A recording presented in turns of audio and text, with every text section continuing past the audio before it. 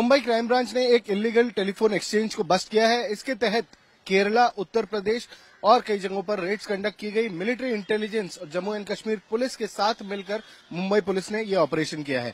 आइए जानते हैं डीसीपी अकबर पठान से किस तरीके का ऑपरेशन था ये और इसमें क्या क्या मिला है। पठान साहब ये बताइए कि आ, किस तरीके का ऑपरेशन था कैसे इस बारे में पता चला कैसे ये एक्सचेंजेस चलाए जाते इस तरह की गुप्त सूचना मिली हुई थी कि मुंबई में एक कॉल आया हुआ था, जो कॉल इंडिया से जनरेट हुआ था, लेकिन बात करने वाला बंदा ये इंडिया के बाहर का था। इसके माध्यम से ये भी पता चला था कि यह इसके माध्यम से कुछ देश विघातक अपराध होने की भी शक्यता है। इसको चलते हुए इसके बारे में इंक्वायरी की गई। इंक्वायरी में पता चला कि उस नंबर को कम से कम 20 आईएमए नंबर कनेक्टेड है, और उसके साथ में और भी चीज़ें पता चली, जिससे इस बात की पुष्टि हो गई कि ये सिनबॉक्स है, और इसका, इस तरह का दुरुपयोग हो रहा है।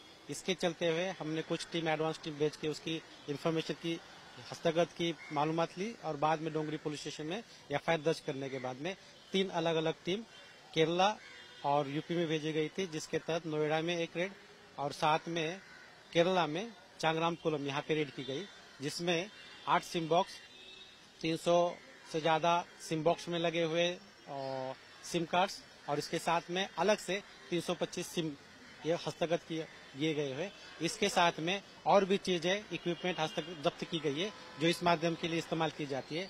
इसमें एक आरोपी की शिनाख्त करके उसको भी हिरासत में लिया है और आगे की तफ्तीश क्राइम ब्रांच कर सर एक चीज़ जानना चाहेंगे ये रैकेट जो चला रहा था ये कौन व्यक्ति था और इसमें क्या देश के बाहर का भी कोई व्यक्ति शामिल है?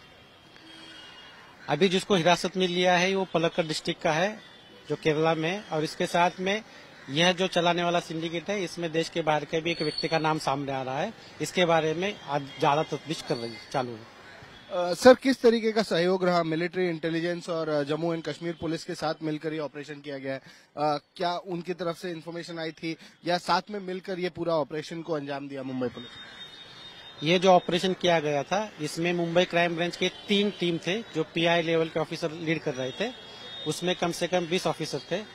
ऑफिसर्स और मैन थे। इसके साथ में साइबर के एक्सपर्ट्स थे।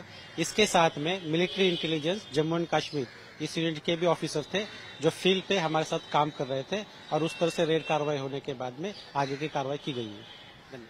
देख सकते हैं, मुंबई पुलिस की बड़ी कार्रवाई इलीगल टेलीफोन एक्सचेंज जिसके तहत मुंबई मुंबई ही नहीं, मुंबई के अलावा देश के कई इलाकों में लोगों को जब कॉल आते थे तो ऐसा लगता था कि उन्हें किसी लोकल नंबर से कॉल आ रहा है। पर असल में होता यह था कि फॉरेन से या फॉरेन किसी कंट्री से, जैसे सऊदी अरेबिया हो गए, दुबई हो गए, या अन्य कोई भी देश से कॉल आता था, उसे रूट किया जाता था एक लोकल सिम बॉक्स पर। सिम बॉक्स के तहत उसे रूट कर डीओटी को डिपार्टमेंट ऑफ़ टेलीकॉम जो है, उसे बहुत नुकसान होता था।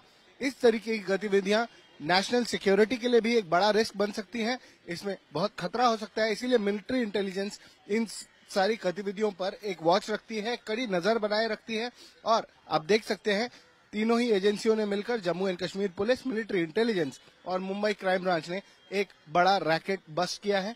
एक telephone exchange illegal telephone exchange जो कि कई स्टेट से चलाया जा रहा था, इस पूरे रैकेट को बस्ट किया है। कैमरा पर्सन मंगेश आमरे के साथ दिव्येश सिंह, मुंबई आज।